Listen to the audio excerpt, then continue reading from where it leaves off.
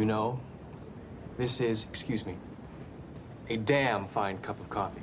Welcome on in to your Midnight Book Club. Tonight, we're starting our journey with American Cosmic UFOs, Religion, and Technology by D.W. Pasulka. Now, if you've been with me for the Midnight Book Club, then you know that we've read her second book on the subject of UFOs.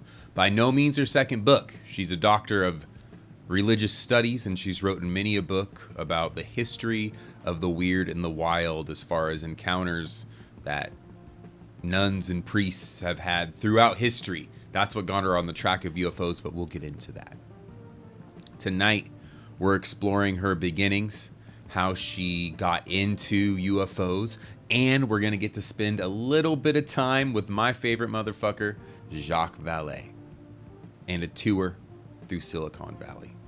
So buckle up, sit back, relax, put your feet up, get ready to get your mind rocked because we're going to about to learn that the weird is out there and it's waiting for us. We're going to start with the preface, mainly because we get to hang out with Jacques Vallée. So I'll put his picture up here. And here's DW, the author of Encounters. So you imagine as I read this preface, these two hanging out, typing away, working on American Cosmic or possibly Encounters, who knows.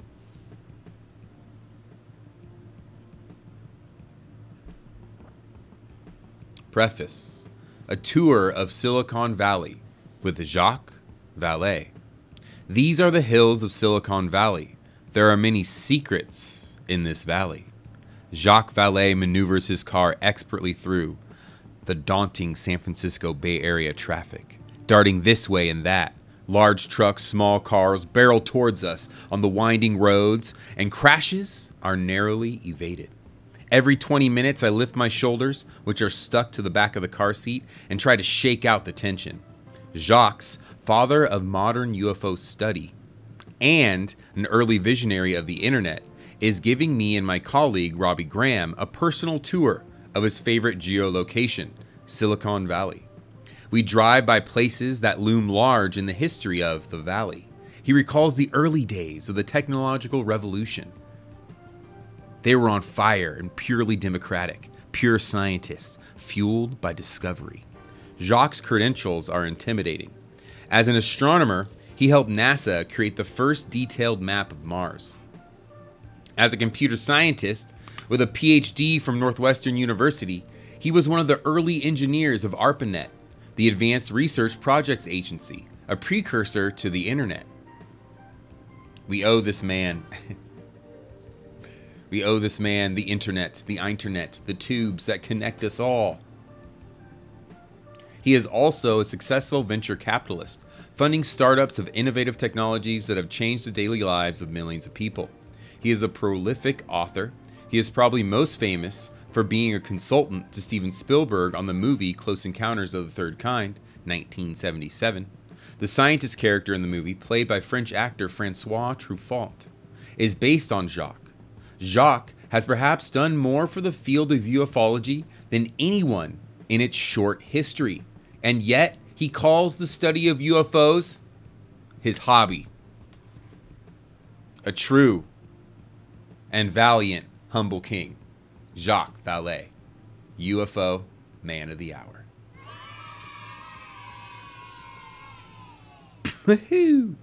this is the orthodox history of Jacques' life and work. His unorthodox history is equally interesting. He worked with scientists affiliated with the Stanford Research Institute. Oh, yeah, baby. Mind Reach. Now, SRI International, an independent nonprofit research institute in Menlo Park. The group's activities are largely unknown to the public, but declassified documents from the 1970s and 1980s indicate that it was a research site for the extraordinary, Jacques did his early work on the internet under a program that Jeffrey Kripal writes was probably called augmentation of the human intelligence. I think that's so cool that the very first experiments with an internet were codenamed things like augmentation of the human intellect. They're already trying to build AI or whatever the fuck on the internet. That's just, uh, uh, just, it makes me think about the internet in a different way. This research was happening at the same time and in the same place as studies of remote viewing, precognition, and extrasensory perception. Oh, that is so cool! So that means old Jacques Vallée was hanging out with my other two favorites, Russell Targ and Harold Puthoff, when they were at SRI studying remote viewing. And of course, we know the CIA and the Army took the remote viewing project, you know, all the to the dark secret depths and all the new heights. Still doing it now but very cool that they're all bumping around together. That must have been so fun in the break room, you know, running into each other. You talking about crazy ass projects they're working on. Jacques Vallée, Harold Puthoff, Russell Targ cutting it up. These esoteric skills were studied under a classified program called the Stargate Project, funded by the U.S. military in partnership with the SRI. The hope was that the skills and talents of people who were naturally psychic could be developed and harnessed for the purposes of gathering intelligence. In the course of this research, the psychic viewers reportedly uncovered unintended and surprising targets, like UFOs. The participants in the program also reported that they could travel through space to the moon and to other planets like Mars. In other words, the program allegedly developed, intentionally or not, psychic cosmonauts. And what's interesting, I was scrolled away on a little part of the internet today on this little like forum that still exists, thank goodness.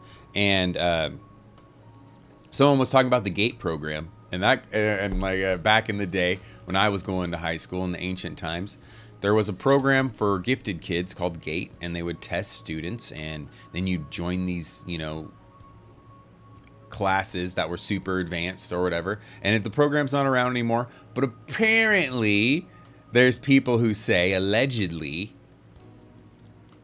that that was like a CIA program to find gifted individuals that would work in these sorts of psychic programs. I don't know. That's just what's floating around out there. Allegedly, found that down an internet hole today. Thought it was interesting because I remember that program. I remember kids like being a part of it, you know. But what are we gonna do?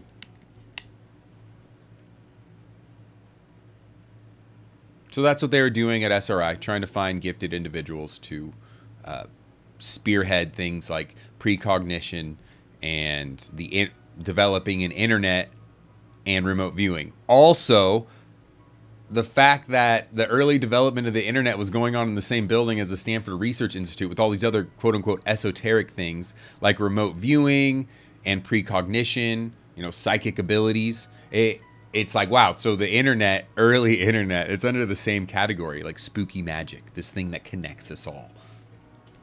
Because it, it's basically just making uh, the consciousness material, right? Like what what we're all trying to achieve, trying to calm our minds so we could have access to it. The internet just makes that material, and we could all just instantly get on and get all the information. Me see something here. I was just trying to get you in there a little bit more.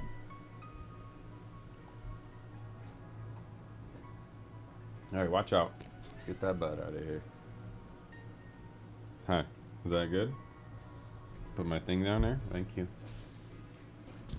All right.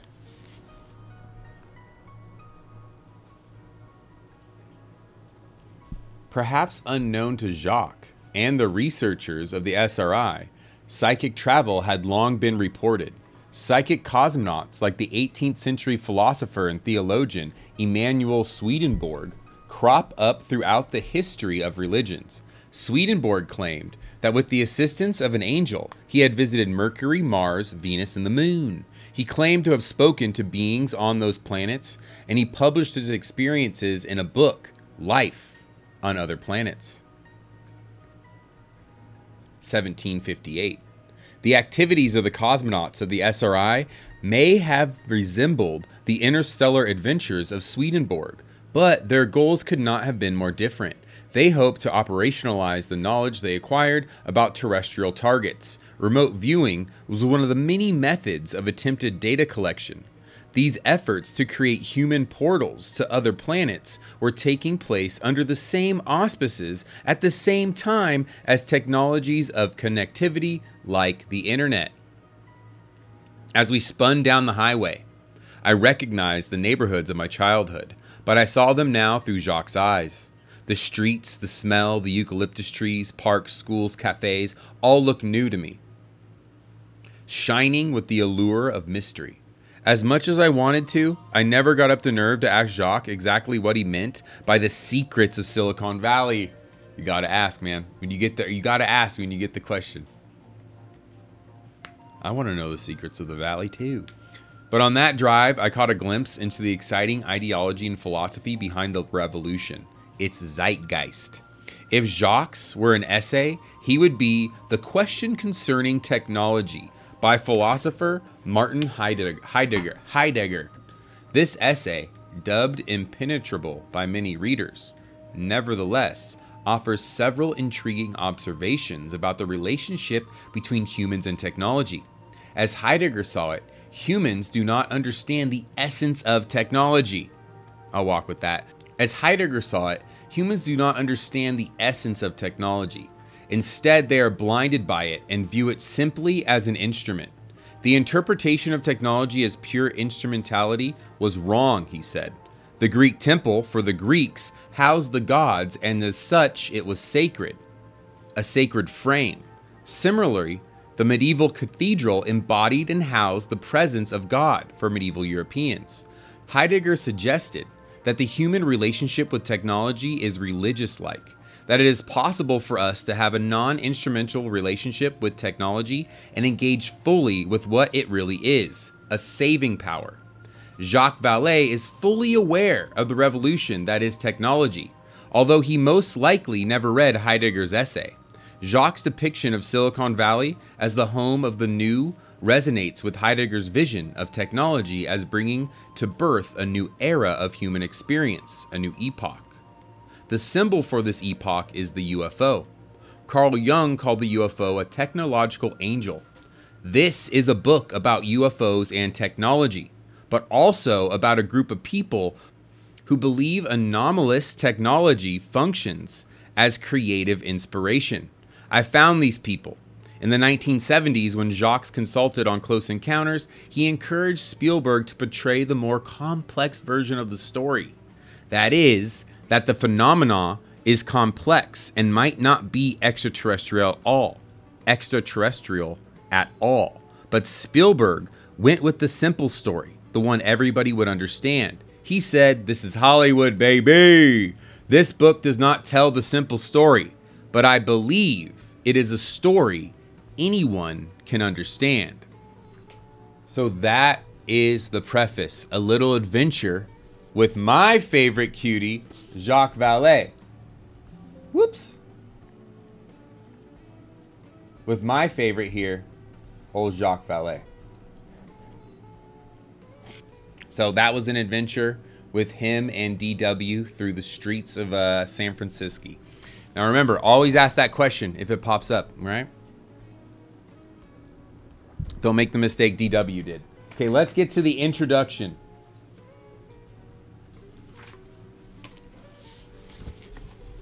All right, so let's dive in. All right, each quote, each chapter starts with a quote. And this one is a humdinger I like to think about a lot. By old Friedrich Nietzsche. When you gaze long into the abyss, the abyss also gazes into you. As I finish writing this introduction, the television series 60 Minutes has just aired an interview with billionaire Robert Bigelow of Bigelow Aerospace. Bigelow founded his company, which specializes in manufactured space equipment, mostly with his own funding in 1998. Due to the reliability and safety of Bigelow Aerospace equipment, NASA and other space companies use Bigelow's space habitats and other equipment in their explorations and experiments in space. In the interview, Bigelow boldly claimed that aliens or non human intelligences are interacting with humans and have been for a long time. Now, Bigelow also, if you know um, Tom DeLonge, of course, you know Tom DeLonge, he was working with Bigelow for a while in the star to the Stars Academy with all his disclosure UFO stuff that he went through for a while. I don't know if he's still into all that. I don't really follow it, but Bigelow, if you recognize the name, him and old Tommy D, they got together. I'm sure he told Tommy D some pretty juicy secrets. Is it risky for you to say in public that you believe in UFOs and aliens? Asked interviewer Lara Logan. You don't worry that some people will say, Did you hear that guy? He sounds like he's crazy. I don't give a damn. I don't care, Bigelow replied. It's not going to make a difference. It's not going to change the reality of what I know. I was not surprised by Bigelow's statements. They are typical of the many scientist believers I have met since I began my research in 2012. Since that time, I have come to know millionaires and billionaires and successful innovative scientists who believe in and study the phenomena.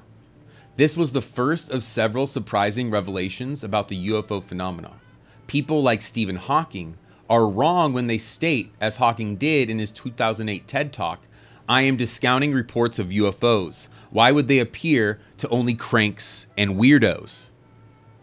The lie has been that belief in UFOs is associated with those on the fringe, cranks and weirdos. In Hawking's words, the truth is just the opposite. This book is about contemporary religion using a case study the phenomenon known as the UFO. It is also about technology. These may seem like completely unrelated topics, but they are intimately connected.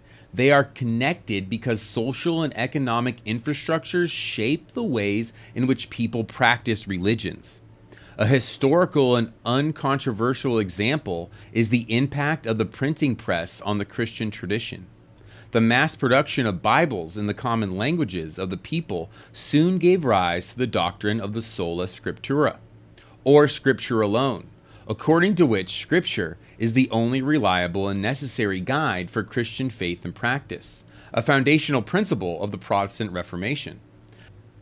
As technologies shift infrastructures, religious practices and habits are changed. Beyond documenting how technological and infrastructure shapes religious practices and beliefs, the UFO is considered by believers to be advanced technology.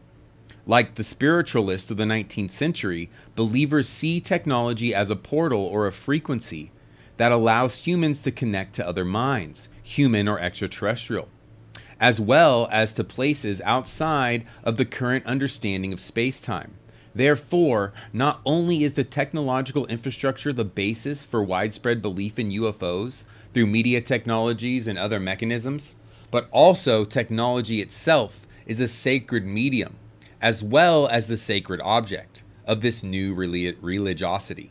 Conversely, within certain theological circles, technology, especially the internet, has been characterized as the beast, the Antichrist. Technology in these contexts is not secular, but infused with theological meaning. The beast, I mean, the beast is definitely out there on the old internet, let me tell you. Such a dark way we connect with each other you know anonymously. Mostly.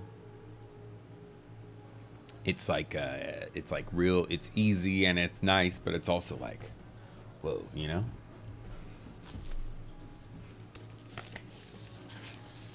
A unique experience for an academic this book is about how technology informs a widespread and growing religiosity focused on UFOs, but it also is a story. It is partly the story of my own participation in a group of scientists and academics who study the phenomena anon- anonymously, except for me, of course. The participants are anonymous because of the stigma that is often associated with UFOs and the belief in them. but also because there were classified government programs in which the phenomena was studied, necessitating secrecy among the participants. To offset any conspiratorial interpretations of this book, I will clarify that I am not read in to any government program to study the phenomena. I was never given privy to any classified information of which I am aware of, nor am I part of an official or non official disclosure of UFOs to the American public. Yeah, everyone she talks to in here, they're bosses, they know exactly what's going on. She, she's trying to tell us she's not a mirage person, a mirage man or woman. Now, what those people are, they're disinformation agents that do work within UFO communities. There's a really good documentary called Mirage Men about it. She's kind of alluding to that. We're going to learn about that stuff a lot more in this book, I hope. I began my study of UFO cultures in January 2012. I proceeded in the conventional way, in that I conducted an ethnography of a variety of believers and delved into the research into UFOs and ufology, a branch of research devoted to the topic. I was lucky to inherit an extensive library of resources about UFOs and reports of contactees and experiencers, so cool, from Dr. Brenda Denzler, whose own book, now this is a book we got to get. The Denzler, Denzler sounds like she is an OG UFO researcher. The Denzi, baby. The lure of the edge. Oh, and we are edgy here, folks. The lure of the edge is strong. This work informed my study. The library inc- included her own research, as well as the research of ufologists and organizations like MUFON, the Mutual UFO Network, and CUFOs, the Center for UFO Studies and the works of other academics and researchers studying the phenomena. I read the works of Allen Hynek. What, what? We've, we've read Allen Hynek on stream, Jacques Vallée, John Keel. The only bad boy we don't have on this list is old Bud Hopkins. We need to get Bud Hopkins. Then John Mack, we got, as well as those people who theorize that the phenomenon of the phenomena academically, such as Jeffrey Kripal. I got to get Jeffrey Kripal's stuff. Whitley Strieber, we have his book. Deborah Badagadjian, we got to get her. Greg Egenheim, Carole Cusack, Susan Lepselter, and David Halperin. Oh, we got a lot of, we got some work to do. Let's see, will the cat stay here? Trying to give you guys a better view.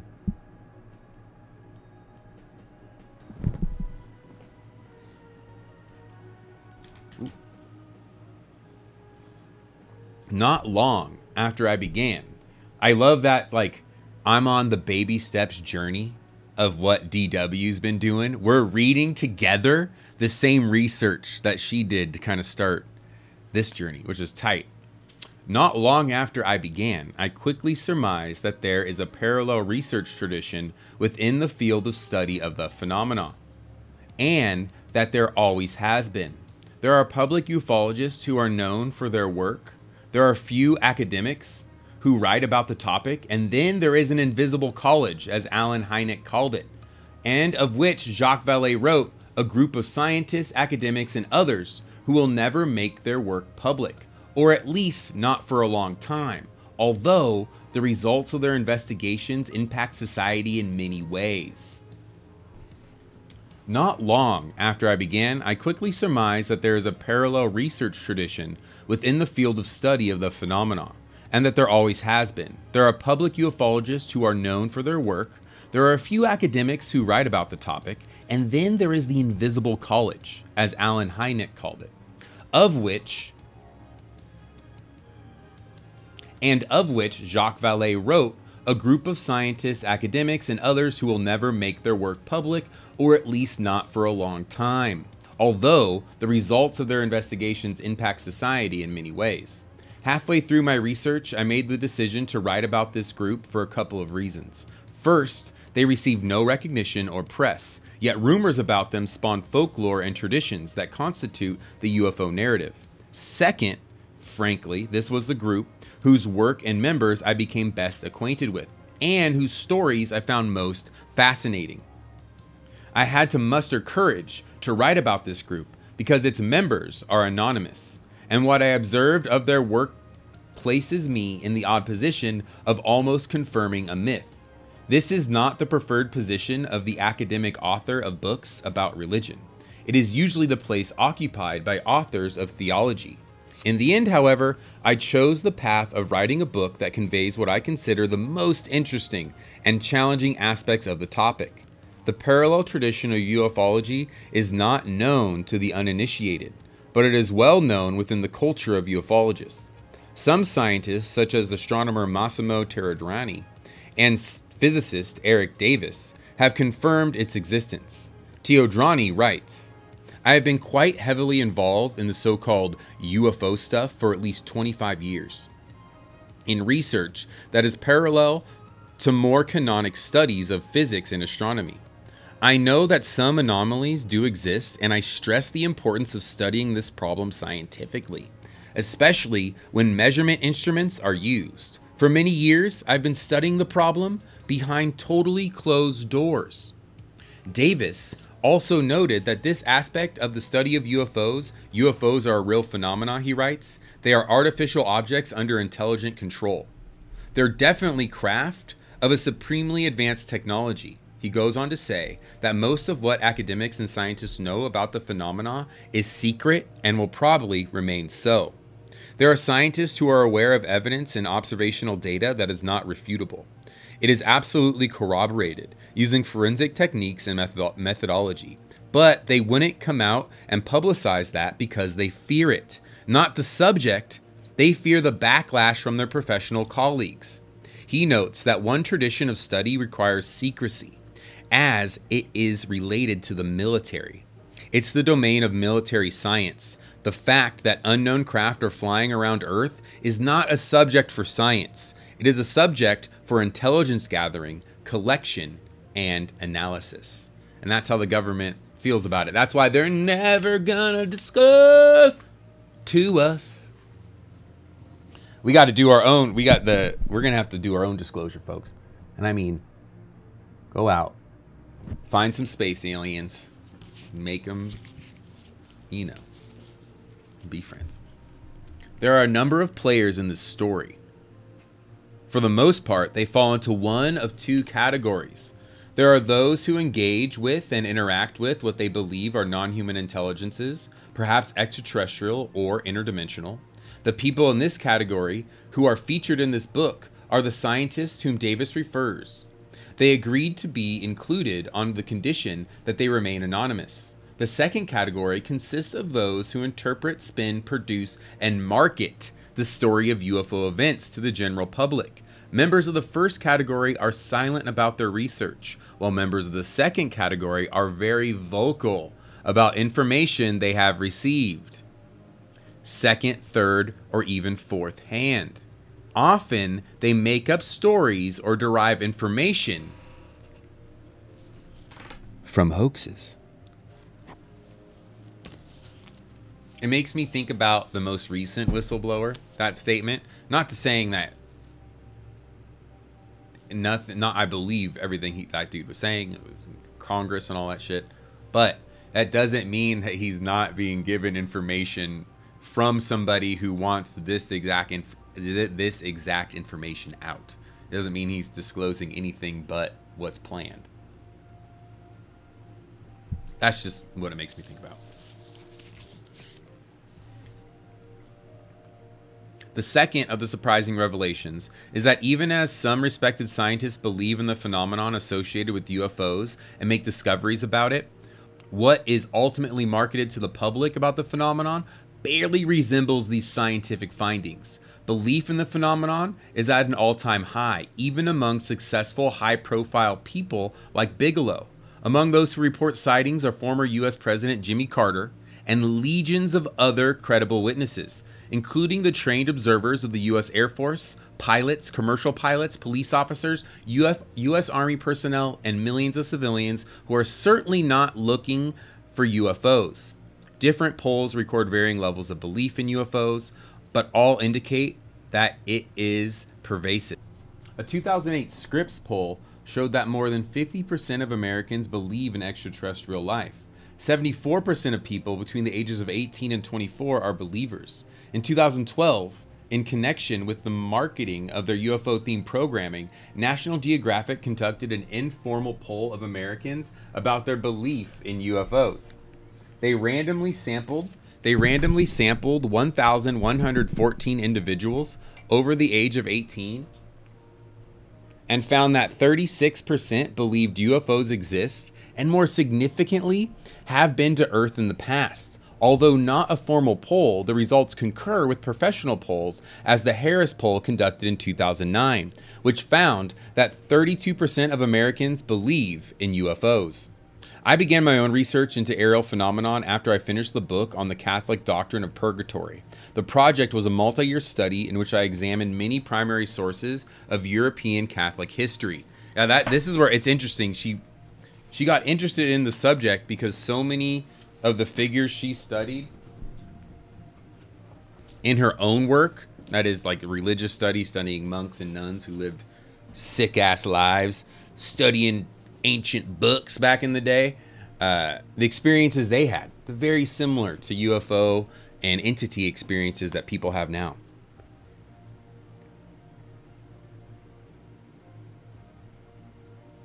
I examined many primary sources of European Catholic history, found mostly in obscure archives, of anecdotes about souls from purgatory.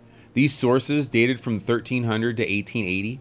In them, I found a lot of other unexpected things, such as a report of orbs of light, flames that penetrated walls, luminous beings, forms of conscious light, spinning suns, and disc like aerial objects. I wasn't sure how to theorize these reports, and I left them out of my book. Yet I wondered about them. I wondered aloud one morning while drinking coffee with a friend. These reports remind me of Steven of a Steven Spielberg film, you know.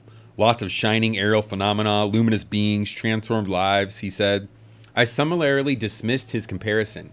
The next day, he found an ad for a local conference about UFOs and extraterrestrials taking place the following weekend. He suggested that I attend. The conference featured speakers who were experiencers, people who have sighted UFOs or believe they have seen extraterrestrials. They described some of the same things I had observed in my research in Catholic history shining aerial discs, flames and orbs, and especially how these experiences transform their lives. The experiencers interpreted the experiencers interpreted these as spiritual or religious events. They either fractured their traditional religious belief system or more commonly caused them to reinterpret their traditions through biblical UFO framework, in which they viewed biblical and historical religious events as UFO events. Ezekiel's wheel is the prime example of how scripture is used in this context. Many religious practitioners view the strange spinning aerial contraption witnessed by biblical prophet Ezekiel as a UFO. The television show Ancient Aliens offers a similar interpretive slant. This way of looking at anomalous ancient aerial phenomena is not restricted to experiencers, but is common especially among youth, such as my students. Could the orbs of the past, once interpreted as souls from purgatory, still be around? Are they currently being interpreted as UFOs? And there we go, folks. The UFO phenomenon, the entity phenomenon, it hasn't just been happening in a short amount of time, only appearing to weirdos in the backwoods of America. It's been going on since time immortal, experienced by all sorts of folks. That's the the great lie is that it only like, you know, as Hawking said, cranks and weirdos experience it. This question was not so mind bending. I could still fit the data into my academic training, interpreting orbs as social constructions based on extra, externally generated unknown event or some type of perennial mystical experience interpreted through each era's reigning cultural framework. The challenge began when I met meta experiencers, the scientists who studied the experiencers and the phenomena. The challenge began when I met the meta experiencers, the scientists who studied the experiencers and the phenomena. It confounded the academic categories I had been using thus far in my work.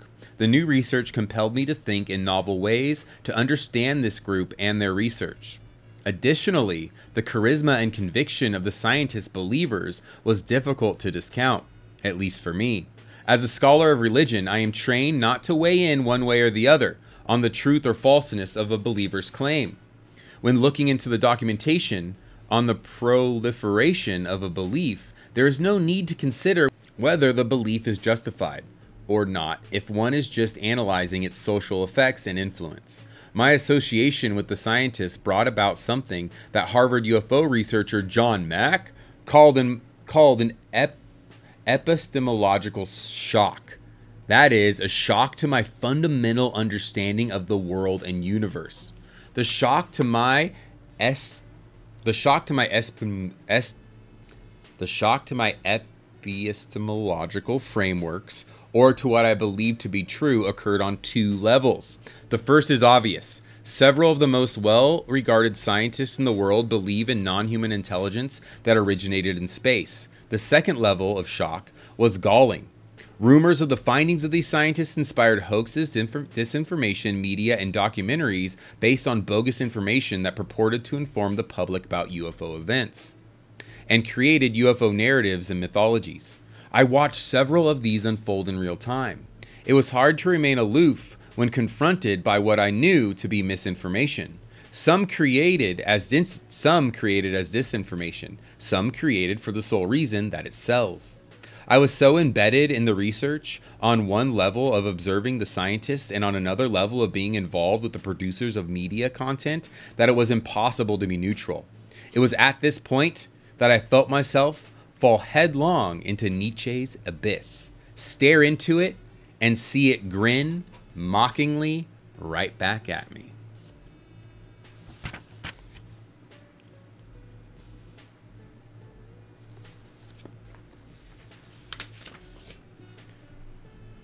In one sense, I feel as if I have been studying this phenomenon my whole life, but I didn't call it UFO research. I called it religious studies. Scholars of religion are well suited to study this topic because religious studies is not a religion, but a set of methods for studying religious phenomena. With a few exceptions, scholars of religion do not assess the truth claims of religious practitioners. The metaphysical truth and the objective truth of, of the phenomena are bracketed so that one can focus on the social effects, which are incontestably very real. This strategy is helpful in the study of the phenomena of UFOs that was advocated by Jacques Vallée in a 1979 address to the Special Political Committee of the United Nations Organizations. He told the committee that the belief in space visitors is independent of the physical reality of the UFO phenomena.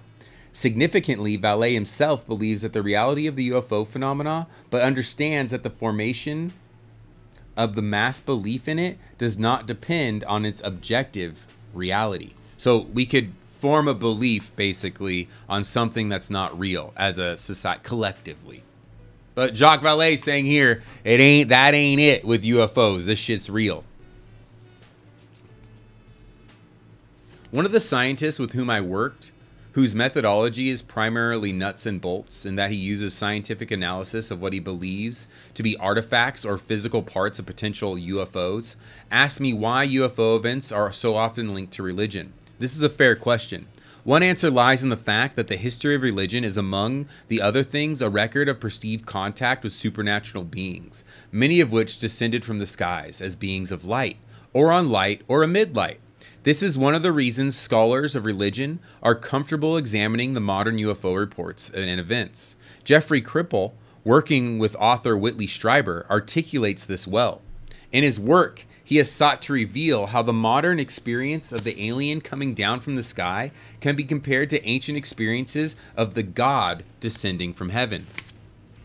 These contact events the perceived interfe- interface between the human and the intelligent non human being from the sky spawn beliefs and interpretations. These beliefs and interpretations develop into communities of belief or faith communities, Kripal notes.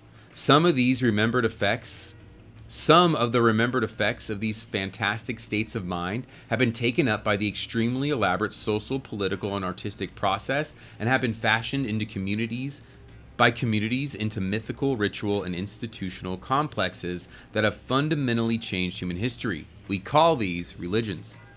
Similar to religions, institutions appropriate institutions appropriate, cultivate, and sometimes intervene in the interpretations of, of a UFO event. These institutions vary and range from religious institutions to governments or clubs or groups. and today to social media groups. Or the Midnight Book Club.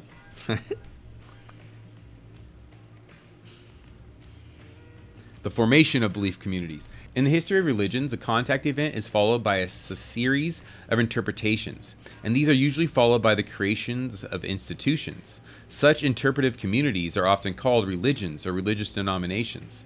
Institutions have a stake in how the original contact event is interpreted.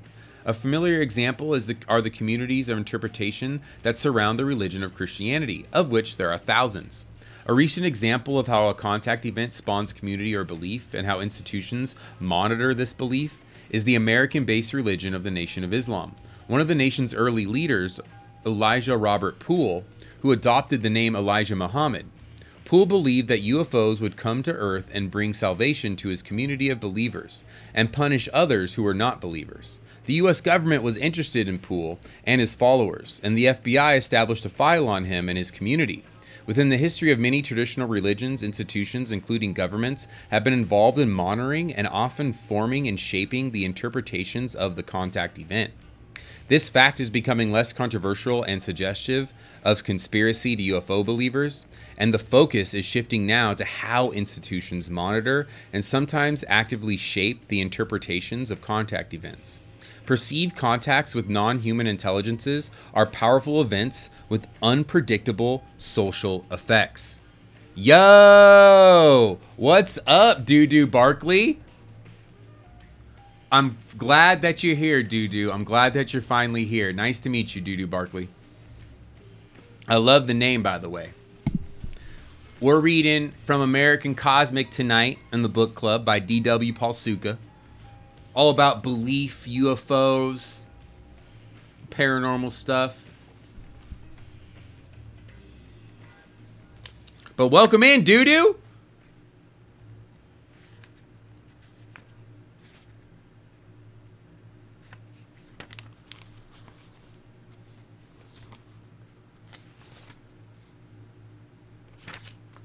Scholars of religion were not the first to suggest that the flying saucer was the symbol of a new global belief system. Carl Jung announced in his little book, published in the 1950s, Flying Saucers, a modern myth of things seen in the skies. Writing in the late 60s, Jacques Vallée argued in Passport to Magonia that similar patterns could be observed in folklore, religious traditions, and modern UFO events. Scholars of the history of the flying saucer usually date its emergence to the beginning of the Cold War and pilot Kenneth Arnold's sighting of the nine flat saucer like discs over Mount Rainier in 1947. Mount Rainier, baby. Boop, boop, boop. Uh, that started the whole UFO craze, babe. That, and then shortly after, we got the Patterson Gimlin film released on Bigfoot. Then you had the Bigfoot craze, and everyone was seeing hairy humanoids two crazes at once. Wild time. Since the 60s, scholars of religion have made significant progress in identifying the mechanisms of religious belief, including how social infrastructures inspire new religious movements. Interpretations of UFOs as connected to religion or religious traditions constitutes a significant cultural development. New religious movements such as the Nation of Islam, Scientology, and Jedism incorporate the UFO narrative into older religious traditions and scriptures.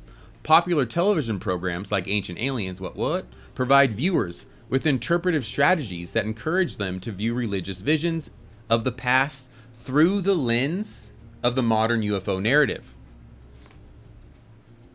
No, do do. Of course not. Man, that that's a question I get all the time though. Creatures are seen all around the world. Do your research. There's a lot of history to it. Since time immortal, people have seen creatures and UFOs all over the world throughout history. There's not one country or culture that doesn't have a story like this. So, no, you don't have to be American. So, congratulations, Dulu. You are a creature. We're all creatures, right? We're all, we're all human creatures, baby. Nothing. You could be the alien too. Yeah, you could be it all, doo doo. Nothing's stopping you, baby. Nothing's nothing's stopping you, my man my my man or alien or person or folk, whatever, or creature, or doo doo. If you just want to be doo doo, I'm with you, man. I, am with you 100%, doo doo. Maybe I'm maybe I'm the alien, you know?